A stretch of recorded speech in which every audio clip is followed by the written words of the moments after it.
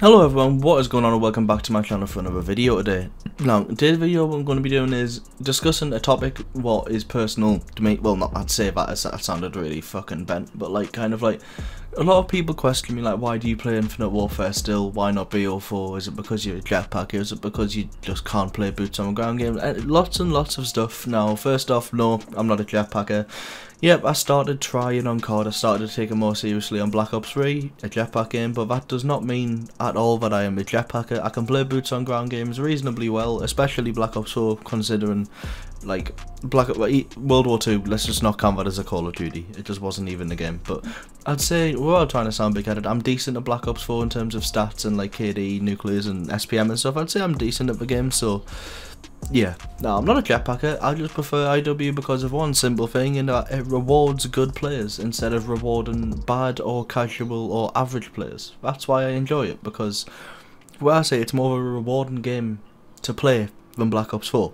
Now, what do I mean by this? Well, Black Ops 4, you don't even have to be good to get rewarded. For example, you could um, camp the whole game or just die the whole game if you're a bad or an average player and um, you'll get a specialist. Now, specialists are extremely overpowered in Black Ops 4, more so than BO3 and Infinite Warfare, but much, much more dominant. And I'd say this game relies on specialists more than it relies on streaks, which shouldn't really be the way COD is. Like, for example, back in the day, if you did well, for example, and you got 1,000 points, like maybe a 10 kill streak or 15 kill streak or one life, you were rewarded with a really powerful streak, obviously, if you had it selected. But if you went on a, a like a 12 or 13 kill streak, you were rewarded with a header or a VSAT or something like that, which is how it should be. Good players should be rewarded for being good at the game.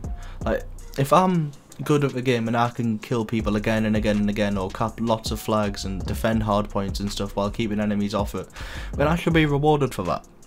A player going 3 and 20 shouldn't be rewarded with a shield middle of the game what's probably more powerful than any streak in the whole game in terms of like annoyance. Obviously a, a, a chopper is going to do more damage than a guy with a shield but it's more annoying for a guy with a shield because you could put cold blooded on and then stay inside and the chopper can't get you. But you can't really avoid a guy with a shield because once he's in front of you, that's it.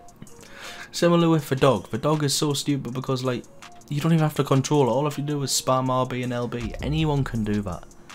Any player going 3 and 20, like 4 and 46, or like a long game going 4 and 102, can call in a dog and get 3 or 4 kills from a dog. Like, it shouldn't really be like that. I think specialists need to be toned down a bit because on Infinite Warfare and Black Ops 3, specialists are good. They are good, but they are somewhat balanced. Like, they're not... The game doesn't depend on them. For example, Torque is probably the strongest specialist when you actually think about it because you can just straight up, straight up lock half of a map, well half, but you know, lock a lane of a map down easily. You can just put a Torque shield down and they can't come from that area. Similar with barbed wire like Infinite Warfare and BO3, everything you had was kind of relative to you. It kind of like it was your armor or your combat focus. Like it didn't really help the other team. It was kind of your stuff. So I feel as if it should be more like that, more of a personal thing than um like team based because. I mean, if one person places down a Torque shield, then nobody has to watch that lane or that side of a map, and it's extremely annoying torch shields and specialists and stuff like that because there's no real way to counter them. You can't counter a Torque shield unless you have a rocket launcher. Now, I don't run a rocket launcher. Excuse me. I don't run a rocket launcher on every class. I do have a class with a rocket launcher on, but for the most part, I'm just trying to get nuclears or gameplays and stuff, and I'm not going to run around with a rocket launcher on, so it's kind of inconvenient for me. Um, and that's kind of a main issue. I could ramble on about this for days, but I think what BO4 should try and do is maybe you know these featured weekly playlists or whatever. We should try one without specialists and without equipment. Obviously, keep keep the regular healing in, like the uh, LB. You press LB and you heal. Keep that in, but remove stim shot, comsec, acoustic sensor. Remove body armor. Remove equipment charge just for a week.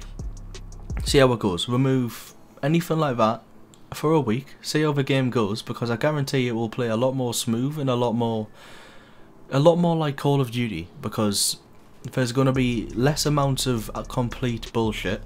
because the amount of times you've put like as many as many bullets into a kid as you possibly can, but he's got body armor, so he survives it. Or some kid just turns around, drops to the floor, and pre-aims you because he's got um acoustic sensor on. It's actually kind of stupid. But long story short, I prefer Infinite Warfare and probably Black Ops 3 over Black Ops 4 because they reward good players. They reward good players with decent streaks because for the players who can get them. Now, drone packages or care packages and every card, obviously drone packages and care packages are going to be a part of Call of Duty. And I agree with it because to be fair, as a bad player, I've been there myself. It's not fun to get shit on every single game with having no chance of being good. So I agree with care packages because um, it does give a player a chance to get good streaks, but care packages along with super quick stuff like acoustic sensor or comsec, along with stupidly overpowered specialists, along with operator mods and stuff like that, and really overpowered LMGs. It, it just there's too much bullshit in Black Ops 4 to enjoy.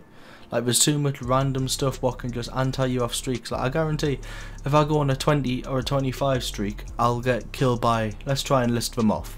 I'll get uh, Reactor Core, Purifier, uh, Mesh Mine, Dog, Nine Bang, Shield, Torque, Razor Wire, Double FMJ Titan, or the Titan in general, Operator Mod Shotgun, I'll get BS by an RCXD that's some kick off from my care pack. I'll get like acoustic some kid will turn around with acoustic sensor and drop. I'll put three, four, five, six bullets into a kid with body armor and he still won't die.